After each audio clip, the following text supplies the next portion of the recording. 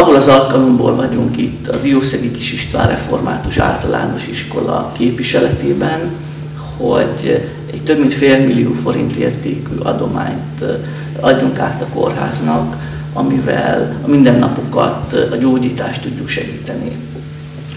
Van egy híres meseírónk, Benedek Elek, és az ő gondolatát szeretném idézni.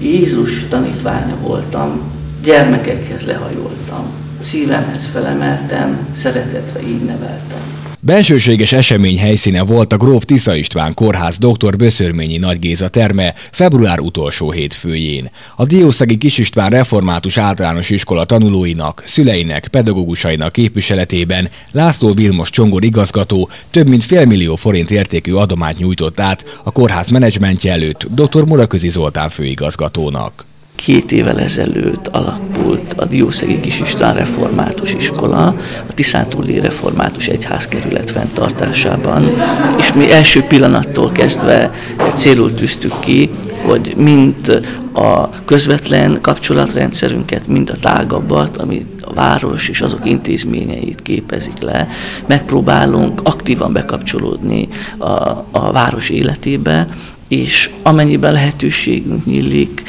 ezeket tettekre is szeretnénk váltani.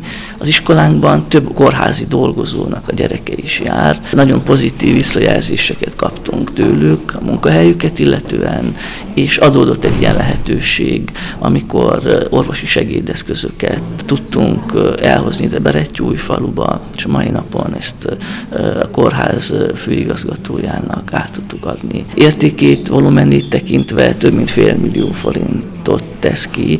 A mai világban, ahogy elhangzott korábbiakban is, van, akinek ez hatalmas segítséget jelent, és mi ebből a szándékból tettük meg szeretném emlékeni az iskolánk diák önkormányzatát, akik aktívan mindig keresik a lehetőséget arra, hogy tetteikkel, munkájukkal segítsék a város életét is. Ilyen volt tavaly például a hideg napokon a, a forró tea osztás is.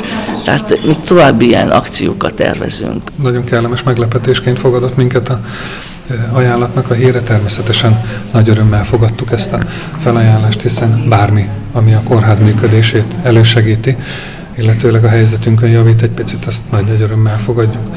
Külön öröm számunkra az, hogy valóban egy szintén önmagában akár segítségre szoruló intézmény részéről kaptuk ezt a felajánlást, hiszen ahogy igazgató elmondta, egy lehetőséget ragadtak meg, ahol nem maguknak, hanem nekünk kértek segítséget, és ezt kaptuk meg most tőlük.